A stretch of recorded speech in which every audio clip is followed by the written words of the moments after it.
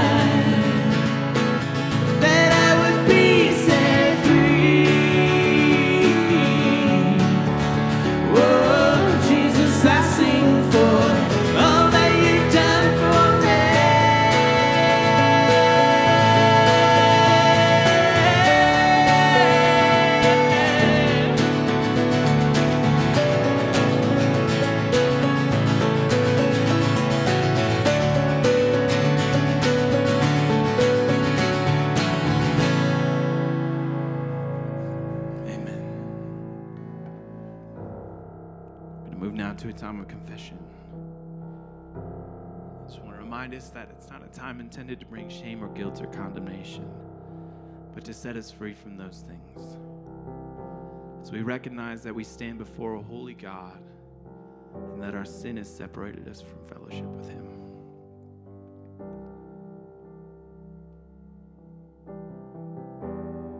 As we consider the weight of our sin, I want to read from Ezekiel 36, which is a promise from God to give us a new heart.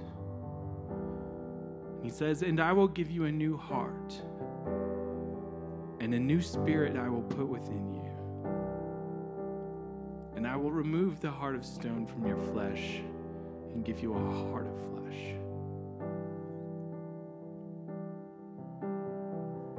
Throughout Scripture, the Lord seems very concerned with the state of our heart. That man looks at the outward, but God looks at the heart. The Lord also says that we shouldn't be conformed to the pattern of this world, but um, we should renew our minds.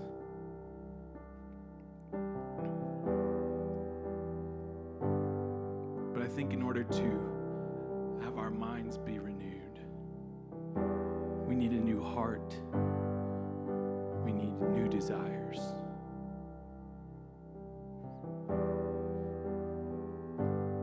So we're going to sing a new song. And the theme of it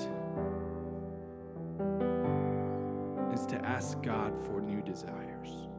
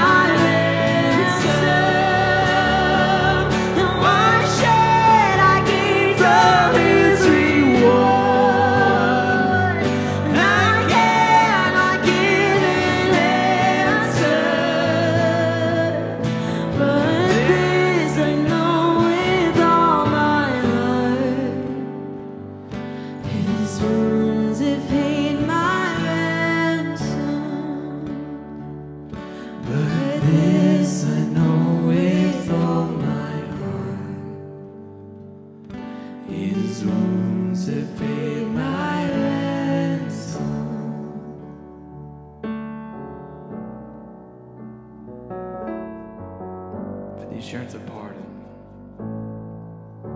1 John chapter 5. And this is the testimony that God gave us eternal life, and this life is in his Son. Whoever has the Son has life. Whoever does not have the Son does not have life. I write these things to you who believe in the name of the Son of God, that you may know that you have eternal life. Let's praise God for that truth. Good morning and welcome to Redemption Parker Online. So glad you're joining us this morning. We exist for the glory of God and the joy of all people. James chapter 1 verse 27 reminds us that religion that is pure and faultless before God our Father is this: to look at to look after widows and orphans in their distress and to keep oneself unstained from the world. We're excited this upcoming this week. We, we have our first ever foster uh, informational meeting, foster care informational meeting. We- want to be a church that cares for uh, the, the hurting, the broken, the oppressed, the lost, uh, widows, and orphans. And so we, we just want to invite you to, if you have any interest at all in, in supporting foster, the foster care system or being a foster uh, care family or just supporting those that are going to do it uh, at, at, John and Julie Steven, Stevens' house this week on uh, when is that? Wednesday night at 6:30 p.m. They're going to be gathering there, and uh, you can go online and check that out and see how you can get involved with that. Uh, secondly, the other announcement I wanted to make is just things are, are changing rapidly, rapidly all the time uh, over the last three months as well. And so, uh, just yesterday on Saturday morning, Douglas County uh, announced that they were loosening many of the restrictions, still with some guidelines and some parameters, but uh, many of the restrictions on uh, the mall, restaurants, and houses of worship. And so we're, we're trying to work with the Pace Center right now, and we're trying to plan as a leadership team and as a staff to figure out what that looks like uh, when we can begin to meet again. Things are changing moment by moment, and so we, we don't know fully what that means or how soon that is, but it, it does seem like it's going to be much sooner than we've anticipated, at least uh, at some points over the last couple months. And so uh, just check your emails, check the website. I'll probably send you some texts just to kind of give you a heads up as to when and how and what it'll look like when we begin to gather again as a faith family uh, in worship. I- am so looking forward to that. I hope that there's been a, a growing longing in your heart and your soul to, to gather once again and worship with the saints of God. And so uh, that may be uh, in a week, maybe in a few weeks. I, I, don't know yet, but we'll keep you informed as to that. Hebrews 10 20, uh, 3 through 25 says this Let us hold fast together, let us hold fast to the confession, confession of our hope without wavering. For he who promised is faithful. Verse 24, and let us consider how we can stir one another up to love and good works. So when we gather, we're going to consider how we can stir one another up to love and good works. And then finally, uh, let us not neglect to meet together, as is the habit of some, but encouraging one another all the more as you see the day drawing near. One of the gifts of God for the people of God is the people of God that together we would gather and encourage one another. And so we're so looking forward to those days being restored, if, if He wills, for that. Uh, this time, I want to turn our attention to our new city catechism. This is just the way that we go through and rehearse the truths of God's Word 52 questions, 52 answers together as a faith family. I'll be reading it directly from the app this morning uh, and encourage you to download it yourself and go uh, with this over your family or memorize this on your own. We are on question number 11. I'll read the question, then out loud, wherever you're at, together we can read the answer. Question number 11 What does God require in the sixth, seventh, and eighth commandments? together. Sixth, that we do not hurt or hate or be hostile to our neighbor, but be patient and peaceful, pursuing even our enemies with love. Seventh, that we abstain from sexual immorality and live purely and faithfully, whether in marriage or in single life, avoiding all impure actions, looks, words, thoughts, or desires, and whatever might lead to them. Eighth, that we do not take without permission that which belongs to someone else, nor withhold any good from someone we might benefit. Well, at this time, I want to introduce our newest Redemption Parker Covenant members, the Steph family. They're passionate about foster care, and they are actually co hosting the foster care meeting that's later this week with the Stevens family. So let's uh, have them introduce themselves. Good morning, everyone. We're the Stephs. I'm Andy. I'm Jen. I'm Macy. I'm Reed. And we are so excited to be joining this church. We've been attending RP for about a year now. Uh, we know a lot of you, but we're looking forward to meeting the rest of you. Uh, one thing we're really passionate about is fostering. Uh, we do have a foster son at home right now. We'd love to tell you our story. We'd also like to hear all of your stories. Uh, so we can't wait to finally be able to get back together uh, and meet all of you. We hope to see you soon. Well, this morning I want to introduce to you our guest preacher. Chase Davis is a pastor of the Well Church in Boulder, Colorado, an Acts 29 church, a sister church of ours. Is also a good friend of mine and someone who has uh, poured into me as I've had opportunity to pour into him as we gather together in a pastor's cohort a few times each year. Uh, so you're going to be blessed by this. We just believe that you need to hear other voices other than just my voice, opening up God's word for your encouragement. I'm going to be encouraged. I know that you will. And so here's Chase Davis. Well, hey, good morning. My name is Chase Davis. I am one of the lead pastors up at the Well Church in Boulder, which is just right on the other side of Denver uh, from Parker. And from what I understand, it's a little bit different in Boulder than it is here in Parker. I so wish I could be with you in person this morning. I was actually scheduled to come out uh, right when uh, Mark and Jen were, were set to go on a cruise, right when this all broke. Uh, and I was texting him that week, like, hey, are you getting on that boat? Uh, what's going to happen? And uh, and he ended, didn't end up going on that. But it is a joy to be with you, even over this digital platform this morning for church. It's really an honor to join you. Um, we're connected through the Acts 29 network, and it really Mark and I have gotten to know each other through a cohort that we're part of in that, and I, I'm just so blessed by his presence and I'm so glad that you're here uh, joining uh, Redemption Parker online for church this morning. I, I, look forward to the day when we can get together again. Hopefully, uh, the message I deliver will be one that uh, will maybe uh, be so good that you would invite me back. That would be awesome. But either way, I'm glad to be with you and thankful this morning. We're big fans of you guys. We're big fans of the ministry that Mark and Jen and you guys have here in Parker. And uh, this morning, I just really want to encourage you as a church. Um, like I said, we're big fans of you guys. In fact, our women's ministry actually had a uh, Zoom call last night using Jen's book as kind of their women's ministry study. And so we're, we're really thankful for the ministry you guys have. And I'm just really thankful to be here with you. Uh, this morning, we're actually going to talk about something that is really important and, and is probably something you've been searching for and longing for during this se- season. Something that may have been hard to come by, something that you've been desperate to have. And that topic is joy. We've been searching for joy. And when we're talking about joy, we're not just talking about a feeling in our lives. We're talking almost about a belief, a hope, something that's certain. And what I want to talk to you about this morning is having joy in the gospel during times when maybe you don't find joy in the gospel, or maybe you don't find joy in life.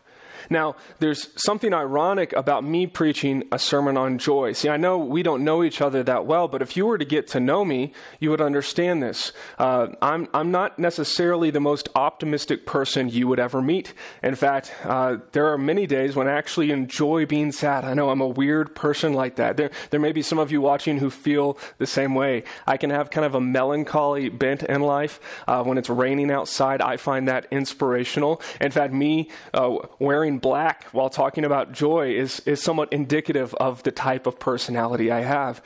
And really, just me as a person, I can go through seasons of highs and lows emotionally where, where joy doesn't seem to be that prominent in my life. And so it's some, somewhat ironic that I'm preaching on joy, but I'm sure many of you are feeling the same way. Uh, whether you're normally an optimistic person or whether you're normally a joyful person, um, this season has been trying. This season has been super hard to find joy. A season of lockdown and pandemic, of threat, of, of threat of health and death and wealth and all these things that are kind of feeling like they're closing in on us can threaten even the most optimistic among us. And God doesn't look at us when we're feeling low or, or, we're lacking joy. He doesn't despise us. He welcomes us. He invites us. Uh, many people struggle with these kind of things. There's a famous uh, preacher from the 19th century named Charles Spurgeon, and he preached over 35 sermons on the topic of joy. And all the while, he struggled with depression all throughout the course of his ministry. Now, I don't call what I struggle with depression necessarily, uh, I just call it Tuesday. But I definitely have those seasons where I feel a little melancholy, a little low. But here's why I think that might qualify me to help you experience more of the joy of God this morning. See, if I can become a more joyful person, if I can learn to cultivate a posture of joy before the Lord, my guess is that I might be able to help you. And I hope I'm able to do that this morning, is to help you maybe just move one foot forward this morning in being more joyful in God. And so that's what we're going to do this morning. We're going to look at joy together, and we're going to try to learn to be joyful together as people. I know during the season it's been super hard, and so my question for you is, how have you found joy? Or have you found joy at all? Maybe for the last eight, ten weeks, you've just kind of been in this state of fear and anxiety and worry. And I don't blame you for that. It's been very overwhelming, uh, it's been very confusing. But what I want to offer you this morning, what God wants to offer you more importantly, is joy in Him. And so, what we're going to do this morning is we're going to look at Luke 1 46 to 55. It's a, it's a bit lengthy, it's nine verses, but the context for this is a song of Mary, and it's a song of joy. And what we want to do is we want to look through this passage, and we're going to highlight three things in this passage that should be able to cultivate in us joy. They're going to be three habits of joy, is what we're going to call them, because we want to be a joyful people. And so let me read uh, Luke 1 46 to 55 to us this morning, and then I'll pray for us, and then we'll dive into it. Luke 1 46 to 55 says this And Mary said, My soul magnifies the Lord, and my spirit rejoices in God my Savior, for he has looked on the humble estate of a servant. For behold, from now on all generations will call me blessed. For he who is mighty has done great things for me, and holy is his name. And his mercy is for those who fear him from generation to generation. He has shown strength with his arm. He has scattered the proud in the thoughts of their hearts. He has brought down the mighty from their thrones, and exalted those of humble estate. He has filled the hungry with good things, and the rich he has sent away empty. He has helped his servant Israel in remembrance of his mercy as he spoke to our fathers, to Abraham, and to his offspring forever. Let me pray for us. God, as we dive into your word together, I pray that even over this virtual platform, that God, you would minister to us. I thank you that you've ministered to me as I've prepared for this sermon, and I thank you that you are active and working in our lives. Holy Spirit, we, we thank you that you're active in shaping and encouraging, convicting, exhorting us. And I pray that this morning, as we look at Mary's song, that we would be a people who are joy filled people, a people who praise you, who are able to obey that command to rejoice always without uh, begrudging or without feeling a, a great burden. Um, God, let us be a joyful people who love you. We pray these things in your name. Amen. The situation for this song is really important. There's a context that, if I don't explain it, uh, you're kind of going to miss out on some of the opportunities. And see, see, what's happening in Mary's life is this she's just been told that she is going to bring the Messiah into the world, the Son of God, Jesus, into the world. And she's just gotten back from visiting Elizabeth, her relative.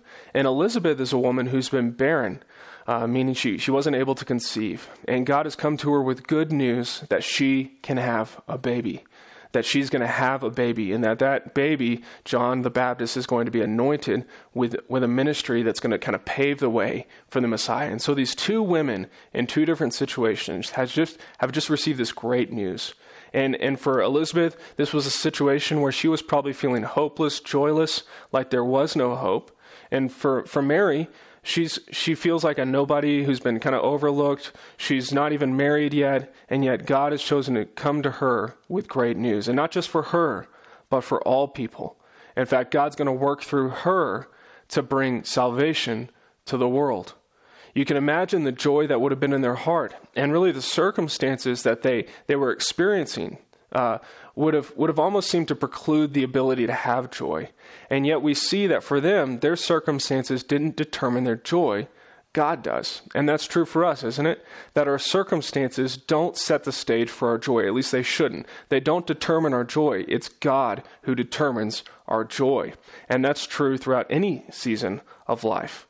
And so this is the situation that we see Mary having this song in. She's just been visited by God. An angel has visited visited her and told her that she's going to bring the Messiah into the world. Now, if you're anything like me, you would be reading this and hearing this and thinking, that sounds great. I'm really happy for Mary. Good for her. I'm really glad that she had an angel come and visit her. But I haven't necessarily had that happen to me.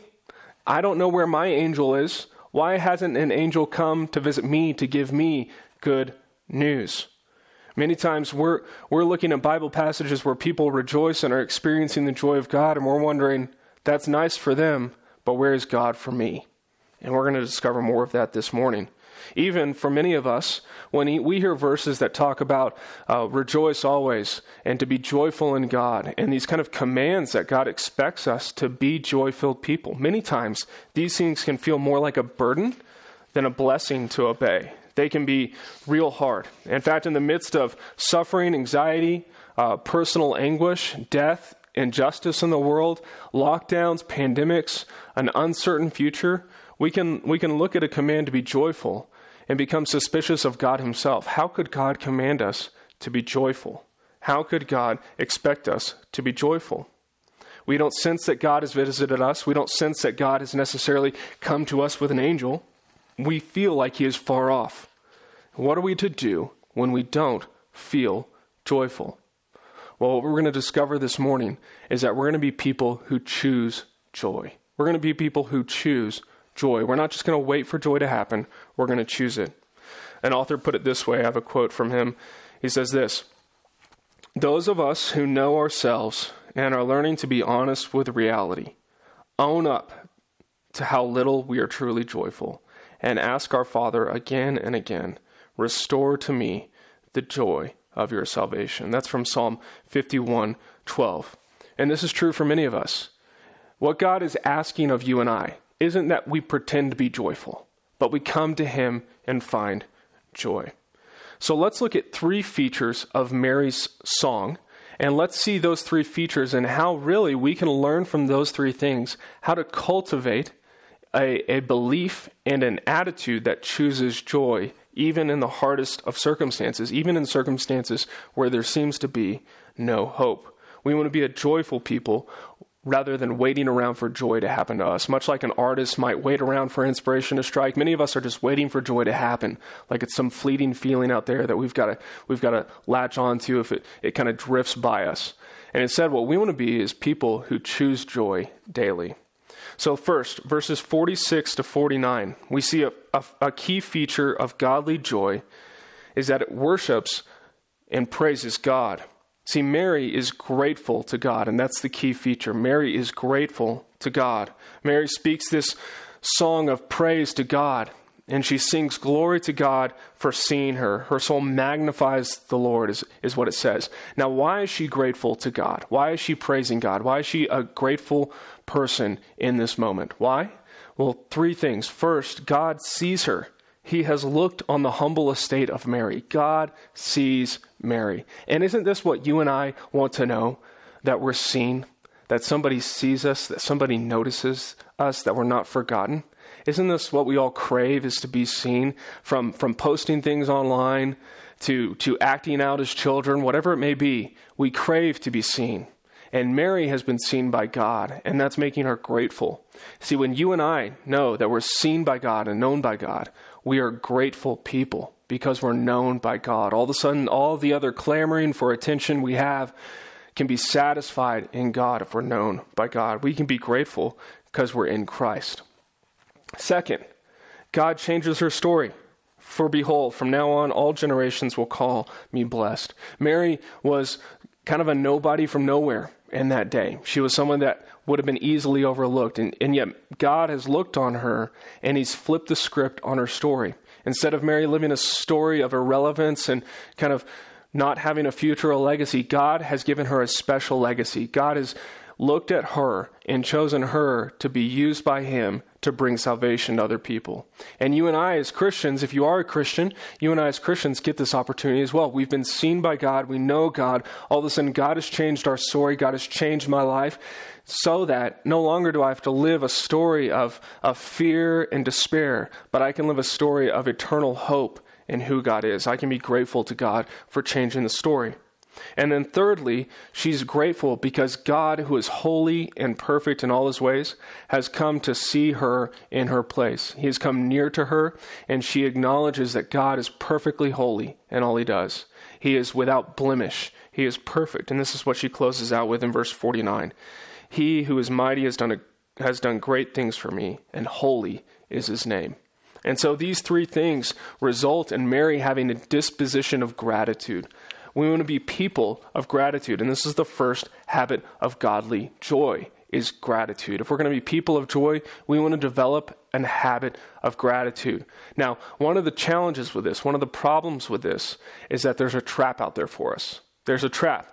Uh, one, one author uh, famously said it this way that comparison is the thief of joy. Comparison is the thief of joy. The trap that we all fall into uh, that fights gratitude in our lives is comparison. Now, I know that you and I, we would not like to admit that we compare ourselves to others. We would like to, you know, kind of pretend at least that, that, you know, we're not playing that game. We're not trying to keep up with the Joneses, whatever it may be. We're trying to play, uh, you know, a content life. But if we're honest with ourselves, if you can be honest with me and I can be honest with you, most of us are playing the comparison game on a daily basis we're playing on a daily basis. And you just have your own little nuance to it. Some for some people it's it's income level. For some people it's size of house. For other people it's how many kids. For other people it's how many degrees. For some of you out there it may be well i have a better beer preference than other people and so that makes me better than them. It, it could be social media for you. Whatever it may be we're constantly comparing ourselves to other others. And what it's doing is it's killing our ability to be grateful people because we can't truly be grateful if we're constantly jealous people. I remember I had this experience about a year ago. It was almost exactly a year ago, uh, which is the only time I've been to Parker in person besides today. Uh, when I graduated from seminary, I was at a seminary graduation and I was really proud of myself, really excited, really thankful to God that I had graduated. And I wanted to share that opportunity, that, or not just opportunity, that accomplishment with my friends. And so I put it on social media that I had graduated. And, and I think that's relatively innocuous. You know, I, I wanted people to see and, and celebrate with me. But what social media tends to do is it tends to start uh, making the algorithm show you other people who have done other things in life. And what I noticed is that, you know, I was really proud of my accomplishment of graduating from seminary. But all of a sudden, I noticed other people who are younger than me who had more more degrees than me already, and not just more degrees than me. They've already planted churches, church, like multiple churches, and not just planted churches. They've written books, and and you can just scroll. I could scroll down the list on the screen of people who who were just better than me, uh, you know, accomplishment wise in life, and all of a sudden my accomplishment lacked the joy and gratitude that I had to God because I was so busy comparing myself to other people. Now, maybe you're more holy than I am and, and you don't do that kind of thing and you've never entertained that thought, but I think for most of us, if we're honest, we play this game regularly where we compare ourselves to others. And what comparison does is it really robs us of the ability to be grateful. It makes gratitude almost impossible. So, how are we going to fight comparison? How do we avoid this trap of comparison? Well, we're going to prioritize gratitude in our life towards God. We're going to make gratitude not just something that we're going to be grateful for if things go a certain way. We're going to be grateful every day for the opportunity to be alive in the first place. And this is a key feature of Mary's song. Mary isn't just grateful for the angel coming to visit her, Mary is grateful to God for his holiness, for his salvation, for who he is and for her getting to be part of the story. And you and I can be grateful for this as well. You and I can practice gratitude in these ways. See, we need to thank God for His provision, His mercy every day, every morning, every hour. Because we're not, we don't want to be people. We're not going to be people who just wait around for gratitude to happen. We're not going to wait until the conditions are right, until God's delivered us what we want to be grateful. We want to be a people who cultivate gratitude today so that we can have a disposition of joy. We can choose joy in regards to God. We're going to direct our gratitude to God. And by doing that, we're going to cultivate joy in our lives. Let's look at another feature of Mary's song, verses 50 to 53. Another key feature of Mary's song is God's faithfulness to show wonder, which or show his faithfulness to people, which cultivates wonder in her life. That Mary is captivated with God. She is filled with wonder towards God. And this is a huge feature of having a joyful presence, of being a joyful person, of choosing joy. We're going to be filled with wonder. Now, Mary's filled with wonder for a couple reasons, as we see in verses 50 to 52. Why is, why is she filled with wonder? Because he's been faithful. Because he's always been faithful. Because he's been faithful to his people. He has sown strength with his arm. He has scattered the proud with the thoughts of their hearts. And the verse before, and his mercy is for those who fear him from generation to generation. God is faithful to his people. And this is what Mary praises that God is always faithful. He is long suffering with us, is the way the Bible would put it. Now, I, I get this question sometimes as a pastor if God is so good, why doesn't he just come now and make everything right? And that's a real tension point for a lot of us, isn't it? If God is just and God is merciful and God is perfectly good, why doesn't He just come and make everything right right now? Well, the answer to that is in Mary's song that God wants more people from generation to generation to generation to know Him. He puts off uh, His return his imminent return, his soon return, as the Bible puts it. He puts off his return so that more people can come to know him. And this should fill us with wonder. We should wonder at God's ways, that he delays so that more people can come to know him. And this is a huge way that God is faithful. And she's also filled with wonder because of God's mercy and justice, this perfect combination of mercy and justice in God. That God is perfectly just and perfectly merciful. And this is what you and I crave in the world, isn't it? We see all sorts of injustices, whether it's slights that we personally feel from other people or it's systemic injustices in the world. We all sense that the world is not perfectly just. And yet we should be filled with wonder that God Himself is just, perfectly executing justice on the cross, absorbing it as the Son of God, Jesus Christ, on the cross, so that we can be people of mercy who have received mercy. And this fills her with wonder. See, we need to be people filled with wonder. This is the second habit of joy, is that we would be a people filled with wonder. This kind of ability to be a people that are filled with wonder. What it's going to do is it's going to set the stage. It's going to almost make the ground fertile for joy to come forth in our life. The ability to choose joy must come from a ground filled with wonder at the world, as God's ways are wonderful. See, something as simple as turning to the created world is hugely impactful in having a wonder of God. Because we live in Colorado, we have the great opportunity to be filled with wonder all year round. We just head up into the mountains and we stand on a vista and we overlook uh, different features of the landscape and we're filled with wonder at God's ways. I know for my family, we go up every summer to a, to a family cabin and there's a pass called Cottonwood Pass and it, it ascends and it crosses the Continental Divide. And when you get up to the top, there's this beautiful scenery. No matter what, what the, uh, clouds are like or the sky is like. It's always beautiful. And what it does is it fills you with wonder. And ultimately, that wonder of creation, it should be directed back to God, that God is faithful in creation to sustain everything. And what may be robbing you and I of wonder more than anything is that we typically have a very materialistic, naturalistic view of the material world. Think about how, how lacking wonder it is if we look at the material world and we just all think it's happenstance. If we all think it's just random chance that things are put together, well, we're not going to be filled with very much wonder. You and I wouldn't visit the Grand Canyon and go, well, that's, that's cool that randomly this all worked out and that we're here today. No, we want to be filled with wonder at, at God's creation that God has a purpose behind everything, that God is sovereign over everything. Not only that, but we live in a world that's almost disenchanted. And when I say disenchanted, I mean we live in a world that kind of lacks this, this ability to connect with the spiritual. We, we, we kind of downplay things we can't see because we're people of a modern age. We want everything to be verifiable in the material world, and if it's not verifiable by us statistically or scientifically, then it can't be real. And yet, what we see Mary doing is gazing in wonder at God's ways who, who stands beyond the material world in many respects because God is spirit. And so she's filled with wonder at this God who has come to her, and you and I can be filled with wonder in a similar way. One way I've tried to be cultivating wonder in my life, uh, I have a, I kind of have a drive, a commute to work, to the office. Uh, normally, when there's not a pandemic going on, and it's a beautiful drive uh, right into Boulder, where I get to gaze at the mountains. And and when I look at the mountains, I'm not just looking at how beautiful they are; they are beautiful.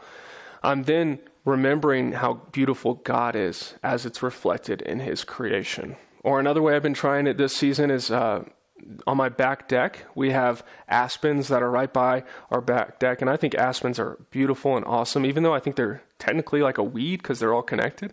But I think aspens are beautiful, especially in the fall. But even in the spring and the summer, when they're when they're just blooming and the leaves are coming out, and you gaze up at them and you see the sunlight filtering through aspens and the leaves kind of rattling around, and it fills you with wonder. And that's what God is inviting you and I to remember again is the wonder of creation, the wonder of his ways, the wonder of his faithfulness. We want to be people who are filled with wonder. And this kind of brings us to the last and third feature of Mary's song in verses 53 to 55. And that feature is one that you and I need more now than ever. And that feature is hope. We need hope. We need to be people who cultivate hope in our life. Now, Mary is hopeful because God has remembered his people, and he hasn't just remembered his people, not just like a past tense term, he's also promised forever to provide for them, to see salvation through for them. Look at verse 55. It says, As he spoke to our fathers, to Abraham and to his offspring, forever. God is faithful forever. God has remembered his people. And Mary sings this beautiful song because God has remembered his people, and this gives her hope that for 400 years they had dwelled in silence, not hearing from God, and all of a sudden God has spoken again as he, as he already had spoken through his word, right? And God speaks again, and it gives her hope. And she knows that she's been seen and known by God. And this is what the Bible talks about over and over again for you and I that he who began a good work in you will be faithful to see it through. Romans 8 is a beautiful place to go, to remember that God is always faithful. And we remember God's faithfulness from generation to generation to offer you and I salvation. We can have hope. We can be people of hope. Because really, what's important for you and I is that we know that God remembers us. I know for some of you who are watching, you feel like during this season, God's not paying attention. That God is almost turning the other eye. That, that whether you've lost a job or lost a loved one or, or you're just scared and you feel alone, that God isn't paying attention. But what Mary reminds us of, and what the Bible testifies to, is that God has not abandoned us, God has not turned away from us. God remembers us. God looks at us and he remembers us. We have hope because God remembers his people. One way I try to do this, and I would encourage you to do this, is when you read the Bible, you can read it from cover to cover. And when we're reading the Bible, you have to remember we're not reading a book of laws or commands primarily. What we're reading is a love story, God's love story for people, to redeem people to himself. And what you're going to see and what you're going to notice, and what I want you to notice as you read the Bible, is how much God pursues his people and how much God remembers his people. He doesn't quit on his people. If you are in Christ, if you know God, if you've been born again, as, as Christians call it, right? If you've been born again, then God has remembered you, and God will not quit on you, and God has not abandoned you. God is faithful. God is good. God remembers you. You have not been forgotten like some old toy in a closet or some old thing that you found lying around. You, are, you have not been left behind. God is pursuing you. And this is why Mary sings this song. See, the opportunity when we read this song together, Mary's song, the opportunity to remember is that you and I can have joy in Christ this morning. Whether you are a Christian, you've been walking with God for a long time, or maybe you're just checking out Redemption Parker and you're just curious about Christianity, you have the opportunity to encounter God. See, the story of Mary's song is a story that's true for all of us. That when the Son of God became man, Jesus, and Mary was the one to, to birth Jesus into the world, so that he could come, live the perfect life that we should have lived, died the death that we deserve, and then rose again to give us new life. That's not just an offer of hope for Mary. That's not just an offer of joy for Mary. It's an offer for you this morning. It's an offer for you to experience the joy of God because God has come near to us, not just to Mary. God has come near to us. He is encountering you this morning through the preached word. He's encountering you. His Holy Spirit is living and active among His body all over the world, but especially here in Redemption Parker. He is working. He has come near to us. And because the Son of God has come to us, has sought us out, we can have joy. And I want to extend that opportunity for you this morning. Maybe you've forgotten that and and you need to come to God this morning. You, you need to come to God as as that author put it that I read at the beginning, and we need to acknowledge that we've been joyless, that we haven't sensed his presence, and we can come to him and he will welcome us home. Or maybe you've never done that. You've never reached out to God. You've never sensed his presence. And this morning is an opportunity for you to do that for the first time. See, we can choose joy even when life is hard. Because the gospel, joy, isn't something out there, it's something that's come to us. Because joy is the Son of God coming to us. I know that many times life is hard, that many times it's hard to choose joy. My wife and I went through a season of that about uh, five years ago. Uh, five years ago, we had our oldest son Knox, who's seven, and um, and my wife got pregnant with our our second child, and I was away on a business trip. She was about six weeks uh, pregnant, and all of a sudden she called me while I was away, and uh, she was miscarrying, and she had to go to the doctor to to figure out what was going on, and they couldn't find a heartbeat, and this was just tragic to us, but especially to Kim, my wife. Uh, I, I think that's how it typically goes. Although if, if you're a guy and, and that's been super hard for you too, I, I empathize. But for my wife, this was an especially crucial season for her because it was so hard. I, I flew in, I got an emergency flight home, only to arrive at the hospital when everything was kind of going down. And that, that season of life for my wife, for Kim, was so difficult. It was so hard to find joy. It was right around actually this time of year, May of, uh, of that year. And, and I watched my wife kind of suffer and go through a season where joy was hard to come by. Joy was really hard to come by. And what I watched my wife do, and, and she hadn't read this and I hadn't preached a sermon or anything like that, I watched my wife cultivate these habits of joy even in the midst of her suffering.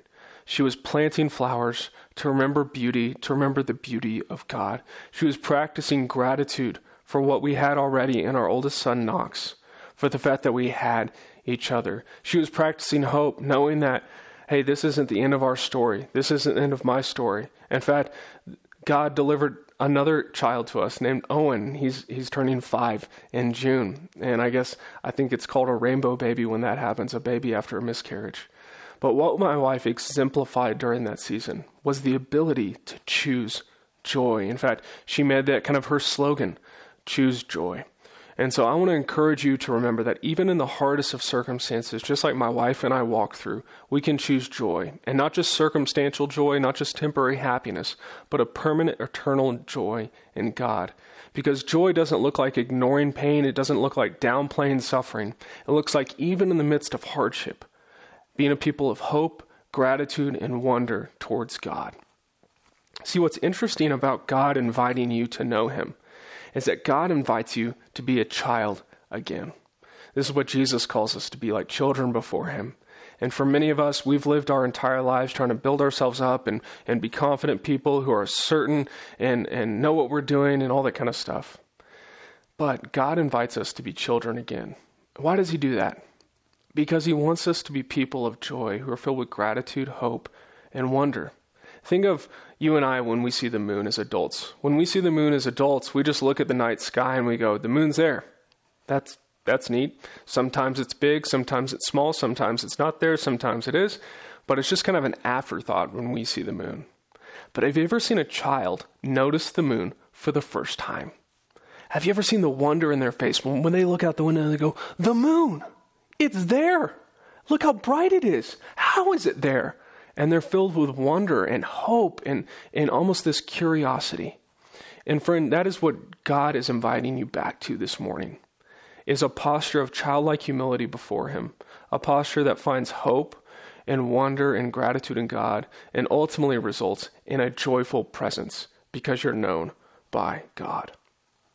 See, joy ultimately is meant to be something eternal. The fact that you and I find joy so hard to come by, that it's so fleeting, that it, it it's so uh, carried away by bad circumstances, is a reinforcement of the reality that we weren't meant to find our ultimate joy here. We were meant to find it in God. There's a quote I want to read you from an author, uh, if I can find it, about this kind of idea. It says this Our joy will not be perfect in this life. We will always strain and struggle. We will have our angst and our anxieties. We will have our ups and downs. Yet even here we have tastes. Not only is indomitable joy coming, meaning joy that can't be defeated and won't back down and nobody can ever take it away, but even now we sample the sweetness, especially in suffering. It says this in 1 Peter 1 8 Though we do not now see him, you believe in him and rejoice with joy that is inexpressible, filled with glory. See, I know that you want to be a church filled with joy. Redemption Parker wants to be a church that oozes the joy of God. Can you imagine a church like that that is just filled with so much joy that there's there's this curiosity, this wonder, this hope, this gratitude that Redemption Parker experiences? Because here's what I do know.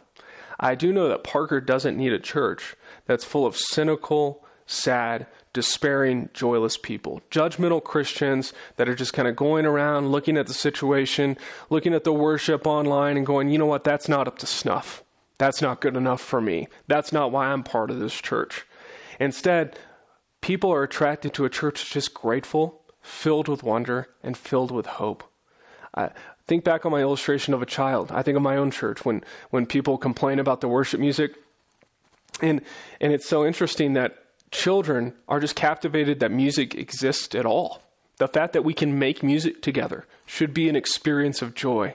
But for a lot of us Christians, like myself, we get so caught up in kind of the intricacies of being adults that we lose our wonder and we lose our joy. And I know for this context, for Parker, what Parker needs is Redemption Parker to be a church that is filled with joy joy in the gospel, joy in God Himself. A church that testifies to the goodness of God no matter what the situation is, no matter a pandemic, a lockdown, whatever it may be a church that's filled with joy. Your neighbors, your neighborhoods, this city needs a people of joy in the gospel. And that is you this morning. That can be you this morning. And I know for, for Mark and Jen and for everyone else who's a leader at this church, that's the kind of church that Redemption Parker longs to be. Thank you so much for letting me come and uh, share this message with you this morning. Let me pray for us.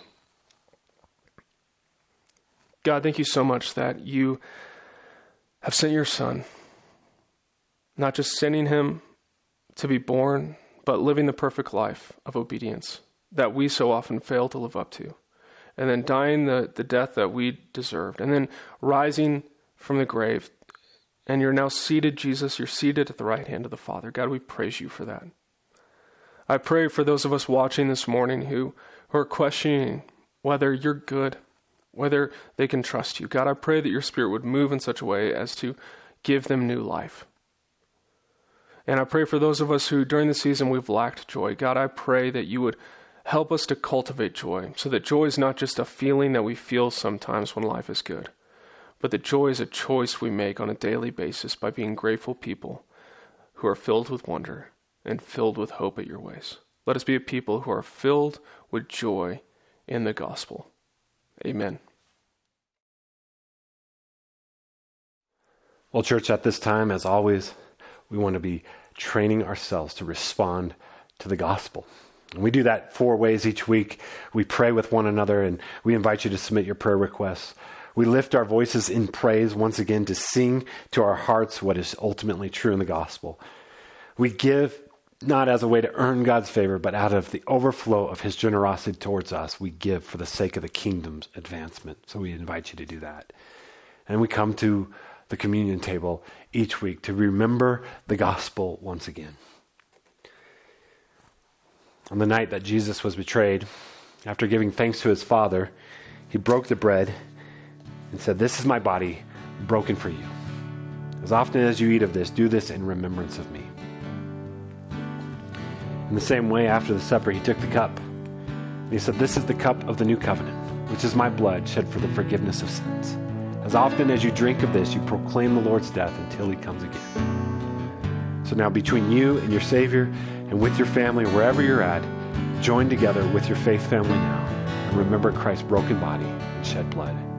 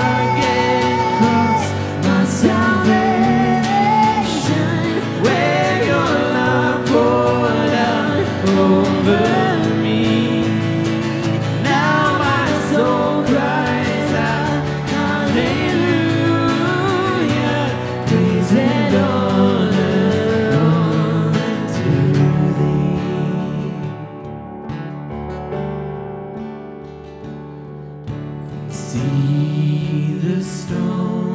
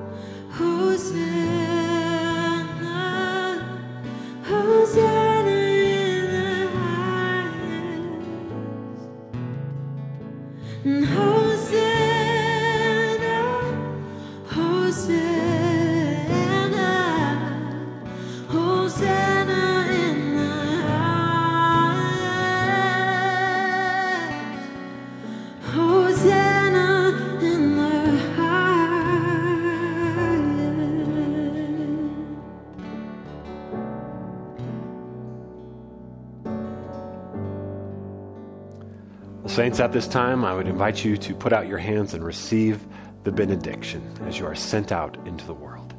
It comes from Romans chapter 15, verse 13. May the God of hope fill you with all joy and peace in believing, so that by the power of the Holy Spirit you may abound in hope. And all of God's people said, Amen.